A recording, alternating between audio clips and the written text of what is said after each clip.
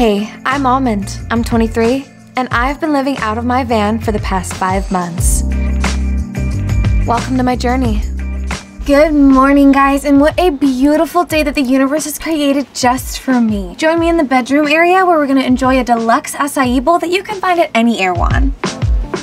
This is all organic and only $35. So, I have been getting so many comments about you guys asking where I sustainably shop, so today I'm finally gonna show you. Mm-hmm. Let's grab our reusable bags and let's go. So, I only shop at co-ops because they're eco-friendly and everything's at the Mahalo, fellow drifter. Cool van. Thanks. Check mine out. Her name is Tara, named after the Earth. Very cool. Mine's named, um, Sprinter, you know, after the running technique. I'm Rainer. Almond, How long have you and Sprinter been on the road? about five months now.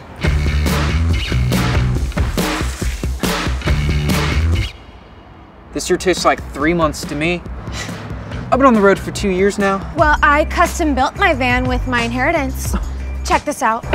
I have a storage space under my bed for storage. I put things in it like a blanket or maybe a dog one day once I drill some holes into it. I actually sleep in this net attached to the ceiling, like a bed. I have a kitchen table that retracts from my sink. This is my sink. Oh my god. I have a fold down table in my bathroom. This allows me to eat and release at the same time. I also have an overhead bidet. I use it to clean my teeth. I built a drawer inside my drawer. I keep my love letters to myself in here. I have a drawer inside a drawer inside a drawer. Dearest Almond, you are the sunshine in my life. But sometimes it's too much. You blind me with your emotions. Get it together. I had better ones. I keep my protein in here. Don't worry, it's just bugs. I don't eat anything that has a soul. I don't eat anything that used to be alive. I'm all plant based. Um, plants used to be alive. Check out this spork knife I made. It cuts my mouth up pretty good, but it's worth it to save water. I just have my eating glove. It's compostable. I never wash it in order to save water, and it also brings all the flavors from my last meal into my next one. I'd love to stay and talk, but I need to recenter myself after this confrontation. Me too.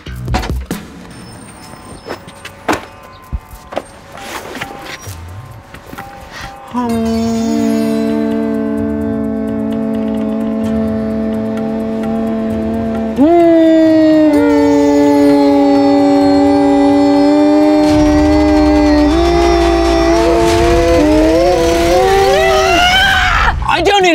money to charity. Oh yeah? Well, I just realized I don't even believe in money. Well, I have so few possessions that I'm not even weighed down by anything. I can jump super high. Well, not, not as high as me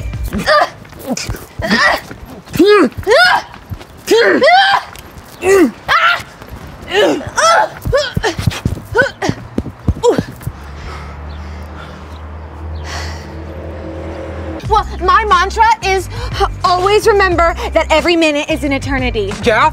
Mine is always remember every second is an eternity.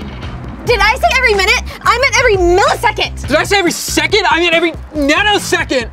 Well, the reason I'm a van lifer is because I have a warrant out for my arrest for selling cigarettes to teens. Me too, except for for public urination. Technically, I'm a sex offender. I lied. The real reason I'm in a van is because I had my heart broken. No, duh! All van lifers do it because they got dumped. I'll never love again. What is love? I don't even remember!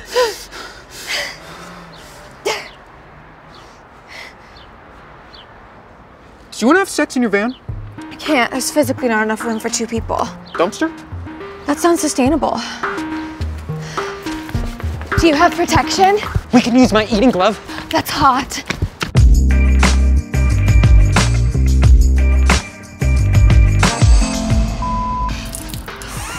That's like three showers. Succulents. Drink it. Oh, God.